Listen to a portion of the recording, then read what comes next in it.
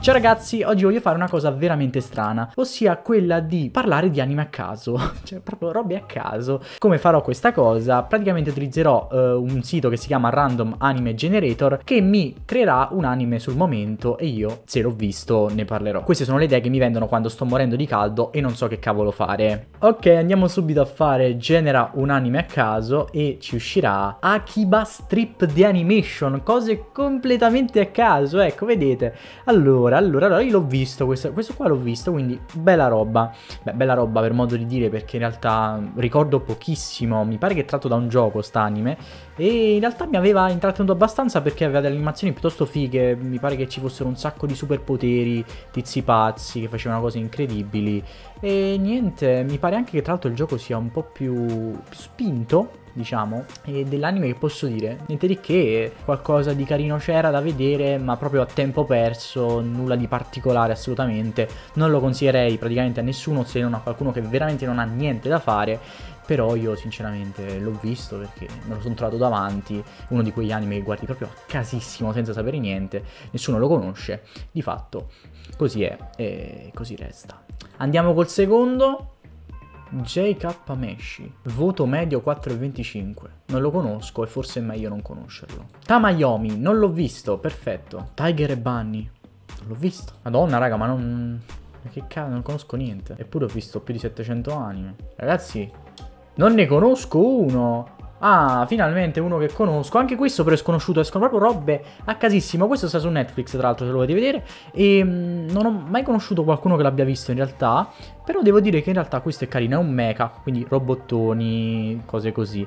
Però è anche un po' scolastico, c'è anche un po' di romanticismo e mi era piaciuto molto per questo. I personaggi pure erano carini, non è niente di che assolutamente, però è una storia che inizia e finisce e mi pare ci sono circa 26 puntate, tra l'altro qua c'è scritto appunto 26. Devo dire che è una serie che comunque ho apprezzato, ci ho messo pure 8 come voto mi pare perché niente di incredibile ma funziona, intrattiene si svolge bene, ha un bel finale, dei bei personaggi, va bene. Una buona serie secondo me, che qualcuno in più avrebbe dovuto conoscere sicuramente. Ah, ecco qua un altro anime. Eh, qua è bello perché ogni tanto rispolveri serie che ti erano piaciute e che non ti ricordavi minimamente.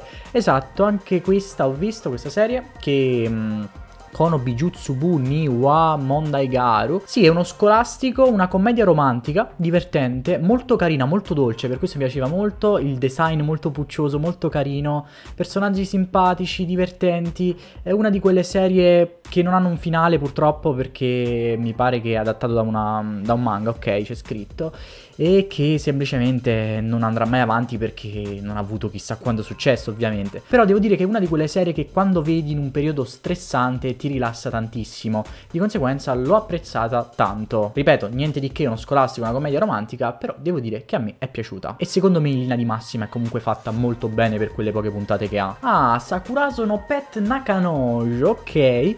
Altra commedia romantica, questa sicuramente molto più conosciuta, che anch'essa è molto bella. Pure questa qua non ha un finale, però devo dire che è stata una bellissima esperienza, mi ha divertito tantissimo, mi ha rallegrato tantissimo, è molto dolce, molto positiva, trasmette veramente tante belle sensazioni e i personaggi pure sono molto carini, sì, stereotipati, non tutti in realtà, però nell'anime comunque vedi diverse difficoltà, molto bella anche l'ambientazione, i colori dell'anime, è una bella serie anche questa, sì, mi è piaciuta veramente tanto e questa qua credo che in realtà la, la conoscano veramente tanti. Non riesco ad andare nel dettaglio ragazzi perché purtroppo sono serie che ho visto tantissimo tempo fa, ricordo delle parti, delle sensazioni che mi ha trasmesso, però purtroppo i dettagli in sé no, e anzi in realtà mi invoglia quasi a ripercorrere di nuovo questa avventura. Per questa tipologia di format devo dire che mi invoglia davvero tanto a riguardare proprio questa serie.